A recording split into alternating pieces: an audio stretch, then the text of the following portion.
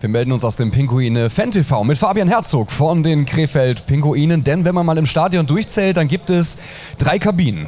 Gästekabine, Heimkabine und Fankabine. Denn das ist neu in dieser Saison, Fabian. Ihr habt hier unten im Eingangsbereich noch die Kabine. Was verbirgt sich dahinter? Was kann man da tun?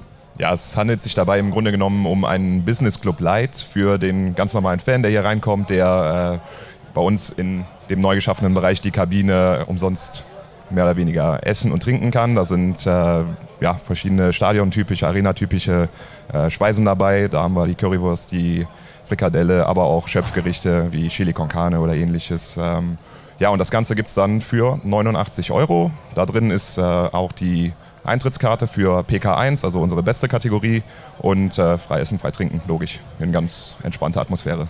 Und wer es buchen will, der findet mehr Informationen nicht nur hier bei Fabian, sondern auch unter krefeld-pinguine.de oder natürlich in der Geschäftsstelle zu den üblichen Öffnungszeiten. Wer dazu Spaß dran hat, kann sich da auf jeden Fall informieren zur Kabine für 89 Euro mit allem Zip, Zap und Feuerstein. Und gleich Drittel Nummer 2 zwischen den Pinguinen und Nürnberg. 1 zu 1 steht's.